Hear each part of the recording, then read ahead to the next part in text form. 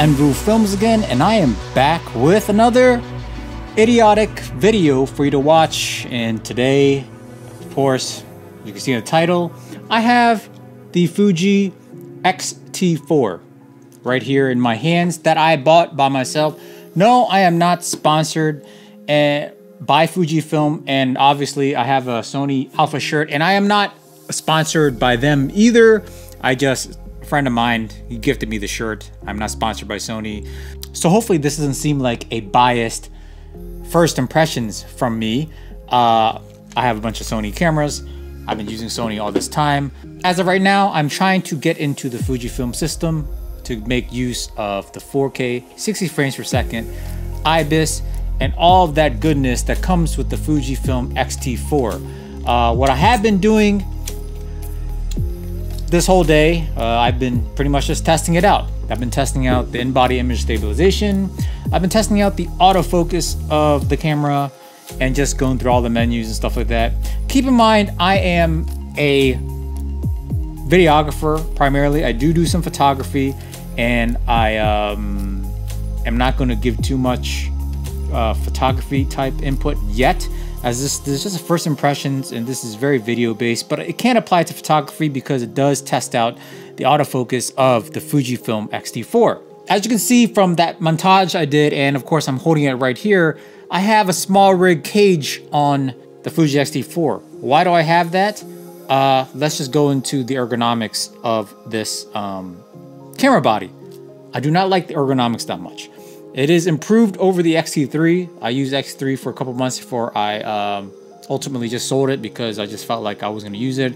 There's no gigs right now due to, you know what, I have a bunch of Sony cameras. Uh, that's all I really needed at the time.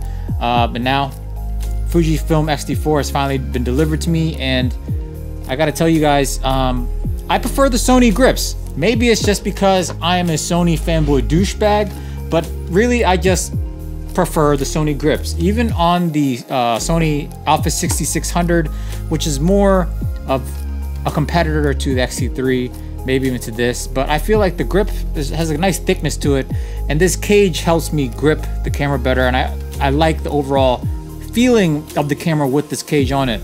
Uh, the grip for the X-T4 just seems a little bit small this is just a first impressions. Um, that's my thoughts on the ergonomics. Everyone already knows the specs of the camera. It's capable of 4K 60 with a slight crop, even though the sensor is already APS-C. It is cropped in an additional 1.2 times in 4K 60 frames per second, which is not a big deal. It shoots 10-bit internal 420 uh, in 4K 60, um, which is really what I want the camera for. It's not some something Sony does not provide at all in any of their mirrorless interchangeable lens cameras. And I'm a primarily videographer, and I really like the having the flexibility of having 4K 60 uh, when shooting certain sequences, especially for weddings and other cinematic B-rolls, whatever you want to call it. One of the things that's really important to me for videography in these um, handheld cameras is the autofocusing system. So what I went ahead and did today, uh, you know, as a first impressions is I tested the autofocus tracking um, on the lenses that I currently own for the X mount.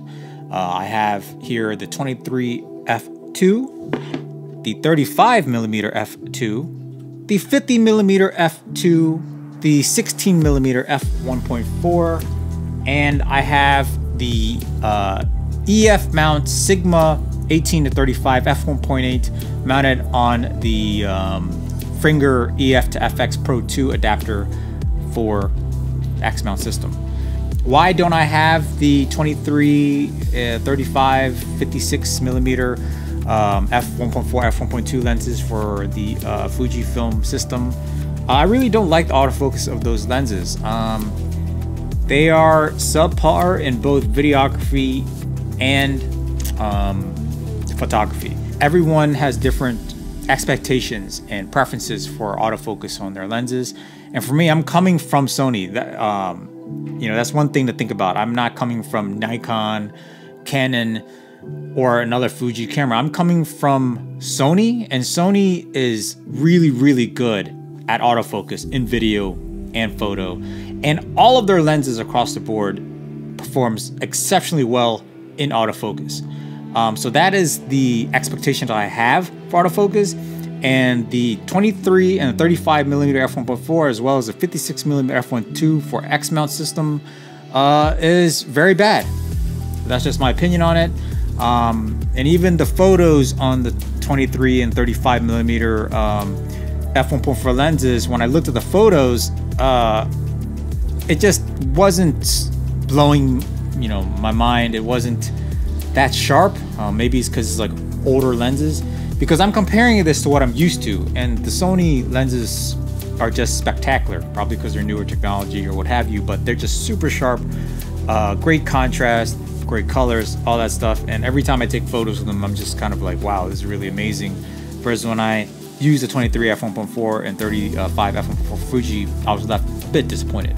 So, anyways, uh, that's my thought on that. That's why I had the f2 lenses. I found that the f2s uh, perform very well uh, with XT3 and autofocus tracking. And here is the XT4 uh, focus tracking test on those four lenses. So here I am walking up towards my door as if I am about to deliver some kung pao chicken to the house, looking shady, waiting for the owner to come out and give me the cash for this Chinese food. But really, I'm just walking back and forth like a complete YouTube douchebag of the century uh, to demonstrate the autofocus tracking.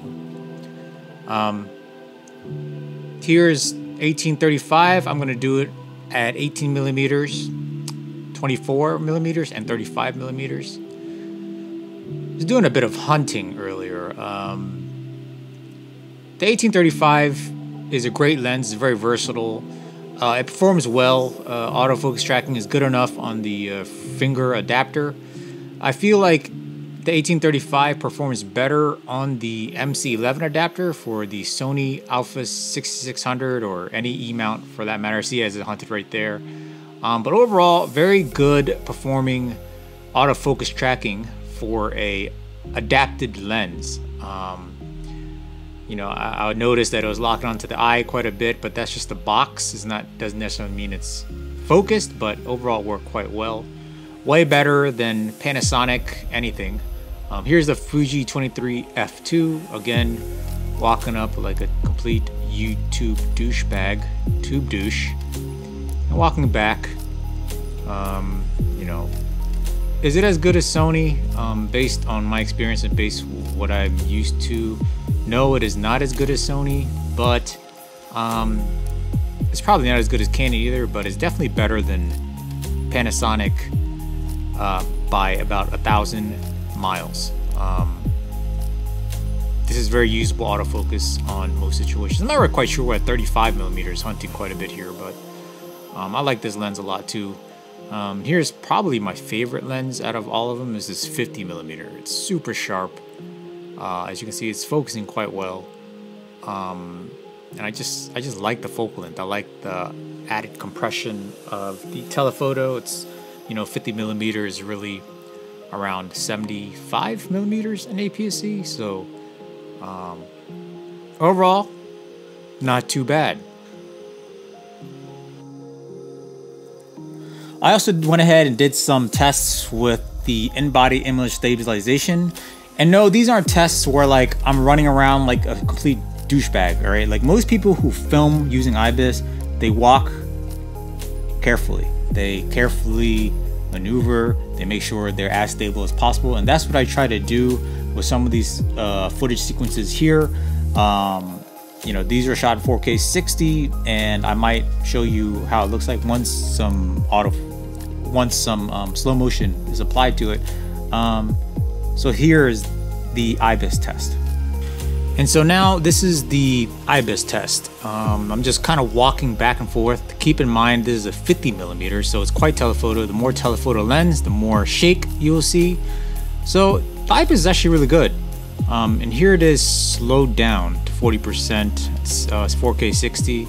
I think it looks quite good. Um, I, I did not use the electronic image image stabilization. This is all just regular in-body image stabilization test. No added stabilization or anything.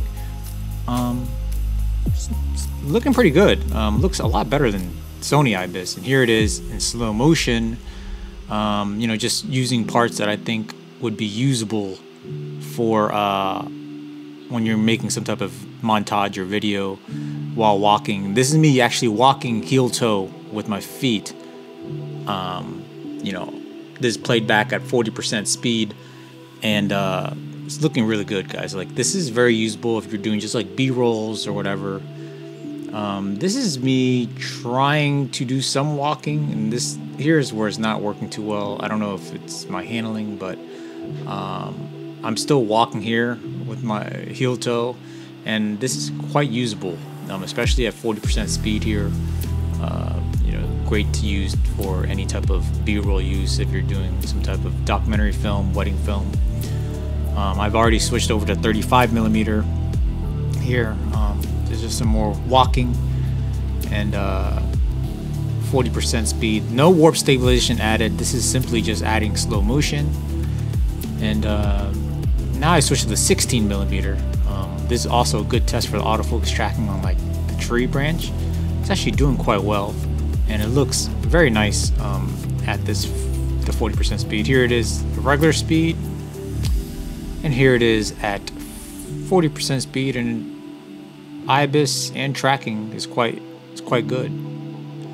Um, I think this is very usable for handheld work, uh, to be quite honest, um, as long as you know what you're doing.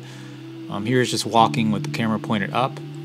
It seems to do really well. Uh, it actually looks good here at just regular speed, but then once you put 40% speed, it looks even better. Um, Again, there's no warp stabilization. This is just standard IBIS. No electronic stabilization added. No warp stabilization added in post. Is simply just doing slow motion at 40% speed, 4K, 60p on um, the Fuji X-T4.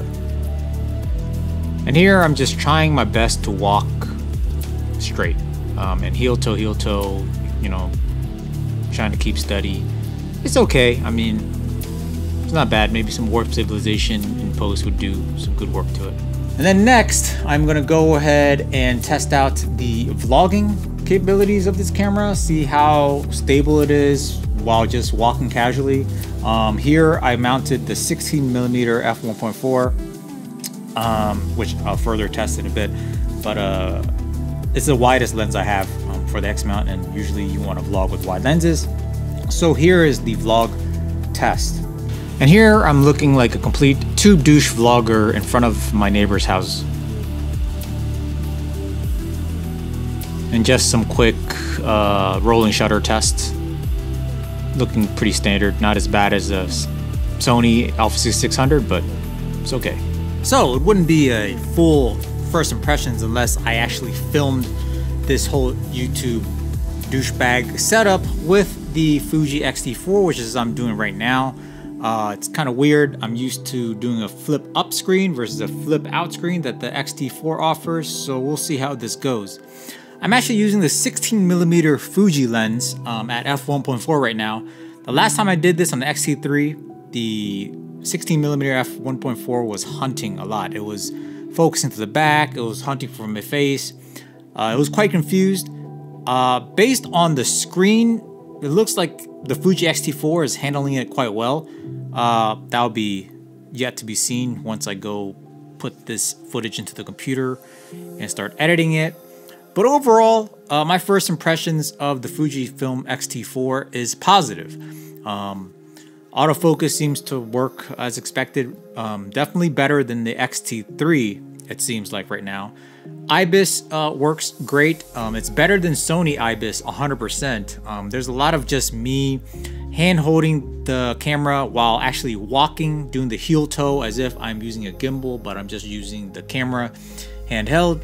And the footage, as you saw, looks quite good. Um, using the camera, walking and filming with intent, knowing what you're gonna do with it, especially if you're, you know, um, going to apply slow motion um, to some of the footage. It looks fantastic. It almost looks gimbal-like um, in some of the shots.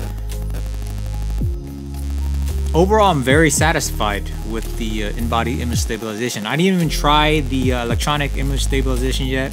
I'll try more of that uh, later. Um, some general complaints I have with the camera is the menus.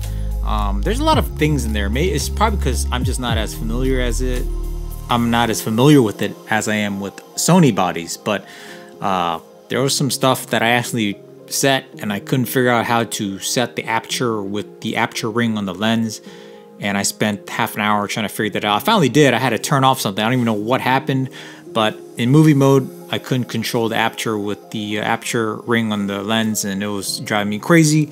Um, just random stuff here and there that's mostly like the user error. Obviously, I know what it does now, but other things of note, huge improvement. I've been playing around with this camera a lot. I didn't even fully charge the battery yet, and the battery seems to be lasting a long time. We all know, we all knew this. This small little Asian size battery here uh, compared. This is the old X-T3 battery compared to the new battery. This new battery is seems to be working great.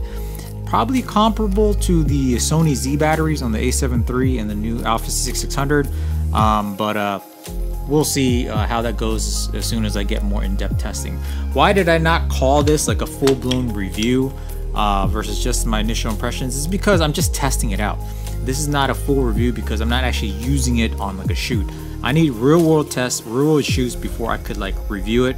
So I'm actually gonna just let you decide on what you think about um, the results that I got in my quick test. I didn't really spend too much time with it obviously, but um, you know, I could have done a lot more, kind of got lazy, didn't feel like getting too crazy with it.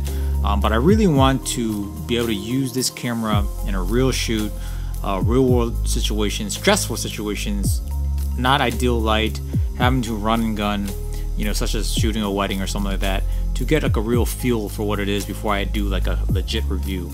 But overall, my initial impressions are very positive. Or great, footage looks great, uh, just as expected. Um, but I'm very impressed with the IBIS, and so far I'm liking the autofocus. Um, it's definitely usable for me. Um, yeah. So please like and subscribe if you found this video helpful. Um, I will be testing the uh, Fuji. I will be testing the Viltrox 23 and 33 millimeter f1.4 soon. Um, it's on order and it should be delivered. I don't know, hopefully within the next month and I'll be doing a review on those two lenses with X-T4 so please subscribe and until next time lighten up